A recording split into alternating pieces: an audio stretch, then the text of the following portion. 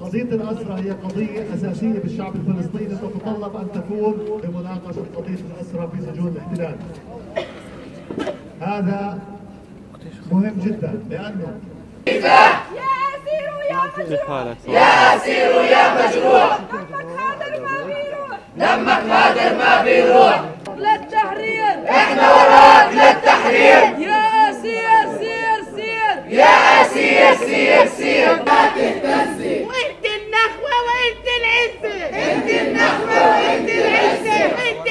الأسيرين شديد وأبو فارة في حالة حرجة للغاية يعانيان آه، من فقدان الإحساس بالأطراف. هناك غيبوبة مستمرة وقيء وهناك آه، غياب عن الوعي نتيجة هذه الممارسات الإسرائيلية.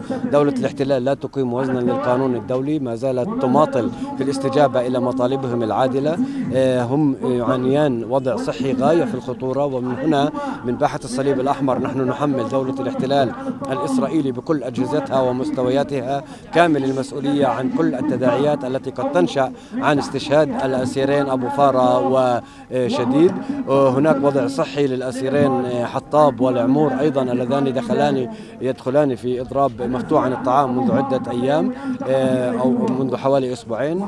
دولة الاحتلال الإسرائيلي تضرب بعرض الحائط كل القوانين الدولية وبالتالي لابد من إيجاد آليات ضاغطة حقيقية دولية من قبل المؤسسات الحقوقية والإنسانية لوقف كل هذه التعديات التي تمارسها دولة الاحتلال وهذه الانتهاكات الصارخة للقانون الدولي. نواصل وأوصلنا رسائل إلى رئيس منظمة التعاون الإسلامي والعديد من الدول والجهات الفاعلة على المستوى العربي والدولي. وصلنا رسائل إلى المفوض السامي لحقوق الإنسان وبعثة الصليب الأحمر الدولي في الأراضي الفلسطينية من أجل أن تتحمل مسؤوليتها كاملة في إنقاذ حياة الأسرى نحن سنواصل الضغط بكل الإمكانات المتوفرة من أجل الضغط على دولة الاحتلال للإفراج وضمان حياة الأسرى المضربين عن الطعام على وجه التحديد وأسرانا المرضى أيضا بشكل عام. بالروح بالدم نفديك يا أسير. بالروح بالدم نفديك يا أسير. بالروح بالدم نفديك يا أسير. بالدم نفديك يا أسير. بالروح بالدم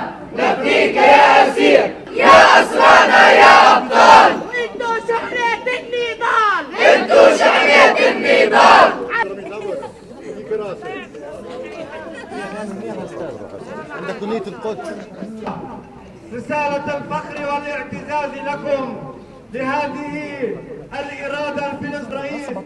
عرفناهم في سجون الاحتلال الإسرائيلي. هذه القامة المقدسية.